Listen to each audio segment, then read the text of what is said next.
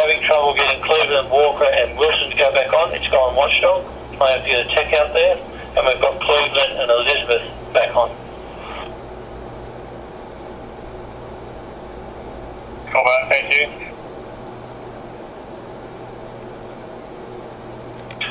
So Transport 12, I can confirm I can't turn Cleveland Street, Walker Street, and Wilson Street, which is that one intersection, back on. And we'll arrange for a technician to get out there. Okay, thanks everybody for stopping by uh, again, or for the first time. Welcome if it's your first time here on the channel. Uh, look, what I've got here is the new, well, my new uh, scanner. Now I'm new to scanners, and this is the first one I've actually acquired. I used to be able to monitor the the New South Wales or the local police here in the I guess the Hunter region, New South Wales, uh, Australia.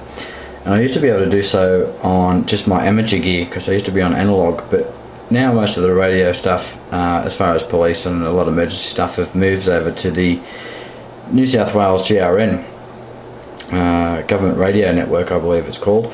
Uh, so unfortunately, the little uh, VX8DR there uh, is no good for monitoring those services anymore, and I quite enjoyed it. So I went out uh, and picked up the GRE PSR 500, uh, which I believe is the same as the Radio Shack uh, Pro 106, I think it is. Uh, now, keep in mind, I've only had this for 24 hours, uh, so I'm certainly uh, no expert on the pro- programming as such. Luckily, when I grabbed this uh, scanner, uh, it did did come pre-programmed. Uh, it's it's a used unit, so it come programmed uh, with a number of uh, GRN stuff programmed into it. Uh, South Australia, ACT, New South Wales, etc., etc., and some some other local stuff to the guy who was in South Australia who who sold it to me.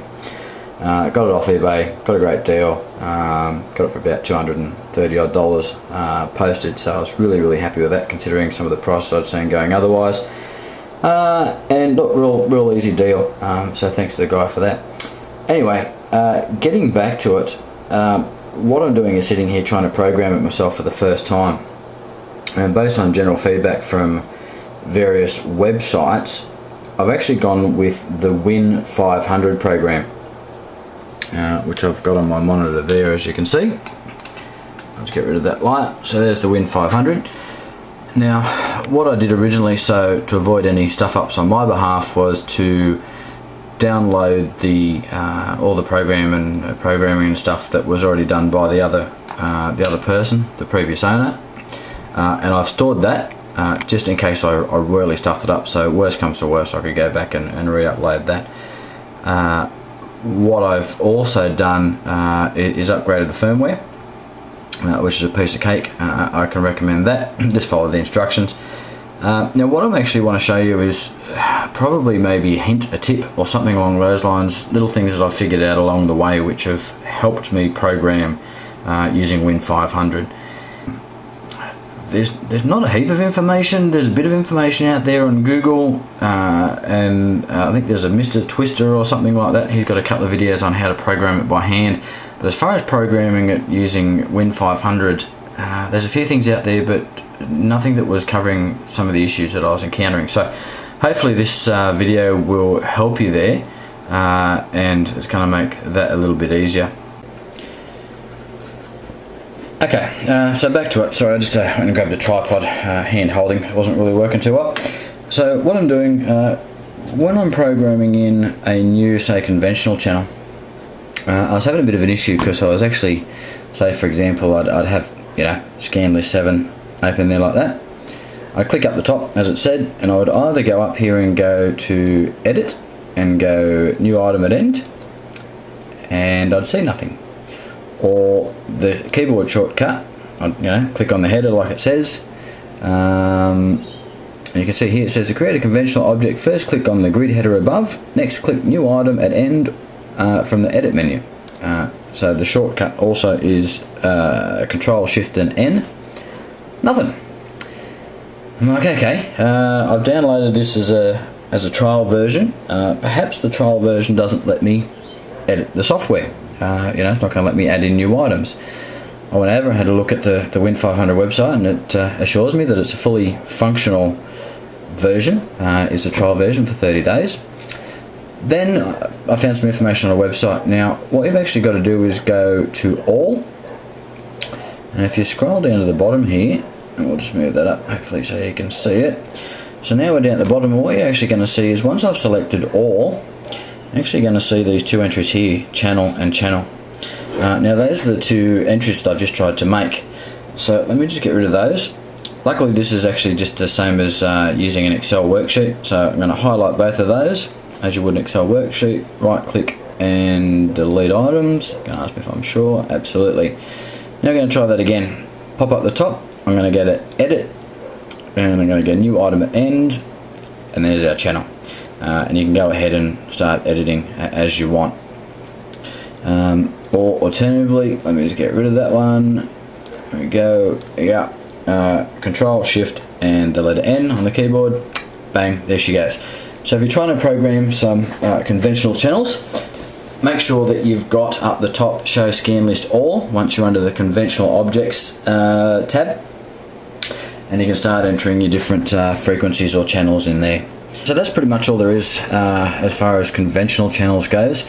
Uh, just to show you how you associate those to a particular scan list. Uh, now, when I do say conventional channels, um, typically uh, it's just a single frequency. Uh, it can be, most of the time, it's going to be your analog stuff.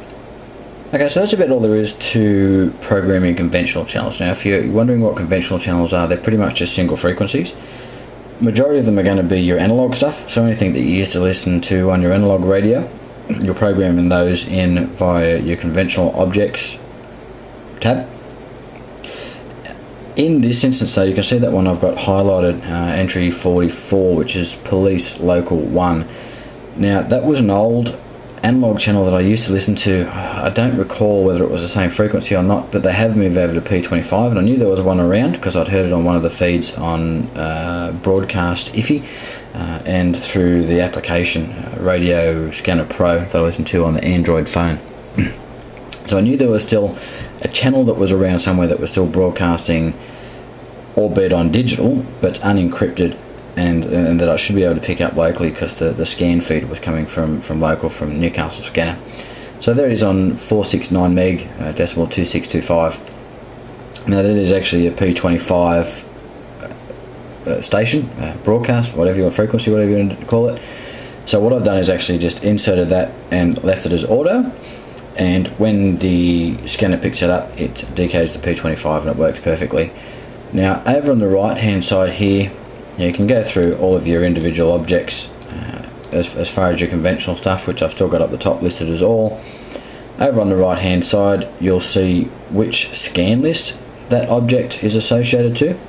And, and when it's object, it just means all your individual items. So as far as that object or that frequency, at this point, because I wasn't sure whether it was still working, etc., and, and all the other police frequencies that I found and, and programmed in below, all of those I just chucked into my scan group scan list 20 so I could actually just listen to those uh, and see whether they come through. So I have no other scan list activated just scan that that list 20 and then I could watch it and rather than scanning through everything else and keeping an eye out for when those ones popped up I knew that those were the ones that were just going to pop up and it was going to scan nice and quick so likely to catch some activity.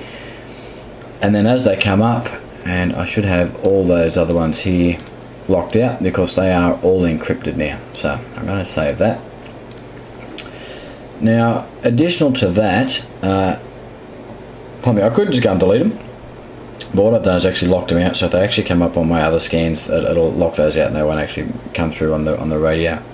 So how you change which scan list you want it to, to come through on, just highlight it, just like that. Hang on, we'll go back up to that one. There we go go over to the right hand side here. There we go. And it's simple as just ticking a box. So that one you can see is ticked in 20 I can put in multiple scan lists if I want uh, or just have it in the one. So at this point I've got it highlighted as as 20 uh, that sits on that scan list. And any enemy play stuff comes up. I have the LED that light blue coming up so I can actually tell what's actually being broadcast so that's it. Uh, you can have alarms, uh, different things that go on like, like that, but I find that very annoying, especially if I'm laying in bed and I'm just listening. just temporarily I'm going to use the LEDs. I don't know whether I'll eventually turn those off as well. Anyway, that's pretty much it as far as your conventional stuff goes. I was going to show in some, throw in some trunk systems as well, but at this point I'm going to make that a separate video because I think this one's getting long enough.